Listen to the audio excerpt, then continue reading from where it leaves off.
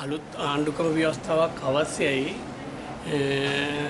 අවශ්‍ය වෙලා තියෙන්නේ මම දකින හැටියට එක්දස් නවසය හැත්තෑ දෙකේ ව්‍යවස්ථාවේ ප්‍රතිසංස්කරන තමයි අවශ්‍ය වෙන්නේ. සහ නව තත්වන්ට ගැලපෙන නව ක්‍රමයකු අවශ්‍ය වෙන්නේ. එකක් ඒක. අනිත් එක විදාය බලය අහුසි කිරීම. විදායක බලය අහුසි කළ යුතුයි.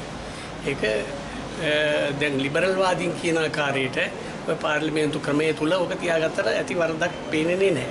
ඉතින් ඒක ඒක අපි සමාජවාදය පිළිගන්න මිනිසුන්ට අපි ඕක ඒ තරම්ම අගේ කර යුතු දෙයක් කියලා මම හිතන්නේ නැහැ. නමුත් අපි පෞද්ගලික පීඩන තත්ත්වයෙන් ඇති වෙන එක පාලනය කර ගැනීම සඳහා මේ ක්‍රමය ප්‍රතිසංස්කරණය විය යුතුයි.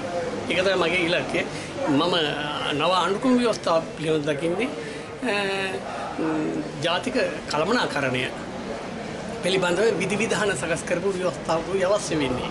ජාතික අවශ්‍යතාවයන් සපුරාලීම සඳහා වූ විධවිධාන සකස් කරන ලද ව්‍යවස්ථාවක අවශ්‍ය වෙන්නේ.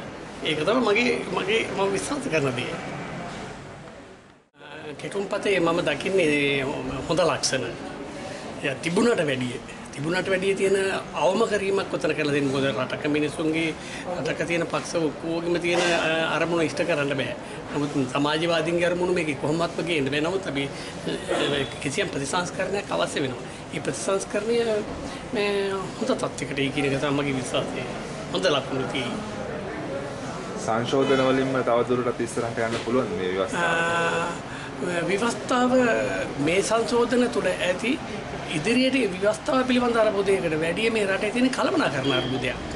කල්පනාකරණය විසඳන විධ විධාන සකස් කරපු ව්‍යවස්ථාවකින් ජාතික ගමන යන්න පුළුවන් වෙයි.